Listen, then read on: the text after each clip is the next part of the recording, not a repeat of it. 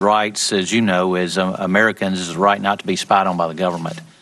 Uh, a FISA order may only be issued based on a finding by the Foreign Intelligence Surveillance Court that probable cause exists to believe that the target of surveillance is an agent of a foreign power.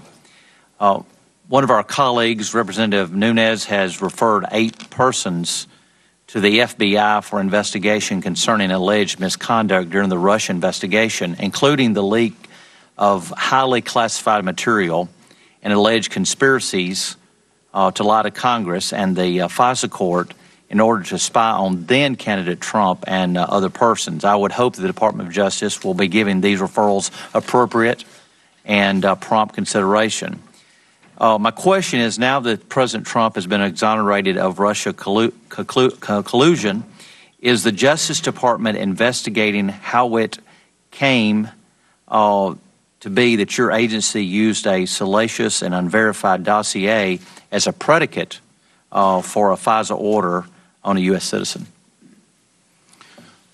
The Office uh, of the Inspector General has a pending investigation of the FISA process in, in the Russian investigation, and I expect that that will be complete in probably in May or June, I am told.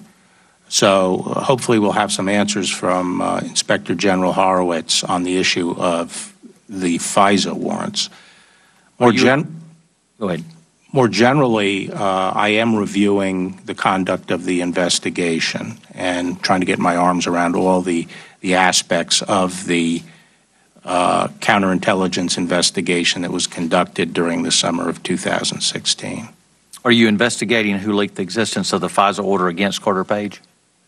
Uh, who what? Uh, are you are you investigating who leaked the existence of a FISA order against Carter Page?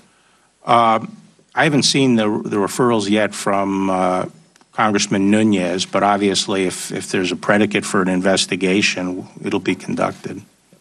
Thank you. Thank you, Mr. Chairman. Ms. Lowey.